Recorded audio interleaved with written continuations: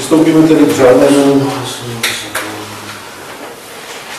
podle navrženého pořadu jednání bodu číslo jedna, kterým je čerpání rozpočtu za první poletí roku 2017.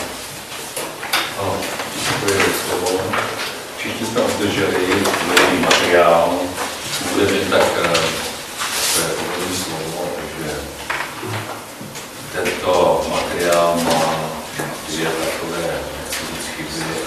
prostě trošku je mimo eh, dnešní datum. A to proto, že schvalujeme čerpání rozpočtu města za druhé čtvrtletí, což znamená, že tedy eh, to je do 36. kdy tedy eh, od této doby bylo celá řada měsíců a je samozřejmé, že současný stav eh, financí města Lučice asi bude odlišný. Druhá věc, kterou bych chtěl úvodem podotknout, je to, že celá řada položek o rozpočtu je v tomto období neplněna. Je tomu tak jako každý rok, a to protože zejména velké investiční akce té době buď ještě nebyly vůbec zahájeny, nebo uh, byly teprve rozpracovány a jejich uh, čerpání se tady uh, Týká se to, jak jsem řekl, většiny investičních akcí.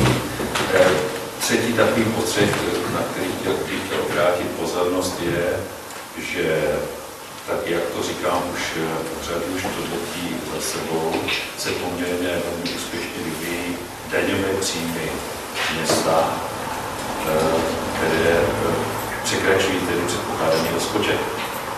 V současné době, když se podíváme na čerpání rozpočtu celkem, tak příjmy vykazují stav 40 milionů 275 tisíc a výdaje 16 milionů 883 tisíc, z čeho plyne příslušný přebytek.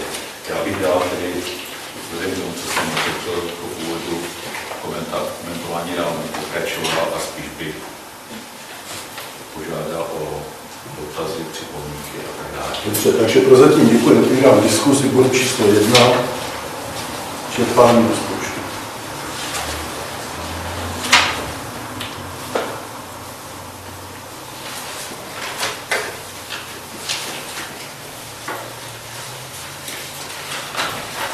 Nejsou žádné dotazy nebo příspěvky, diskuze.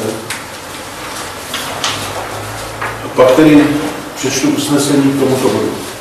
Usnesení číslo 1 z 19. zasedání zastupitelstva města ze dne 18.9.2017.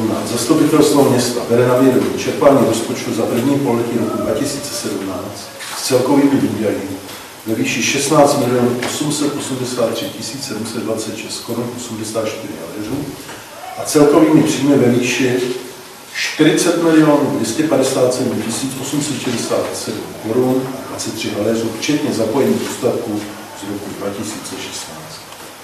Kdo je pro přijetí tohoto usnesení? 10. Kdo je proti? Zdržel se? shoe.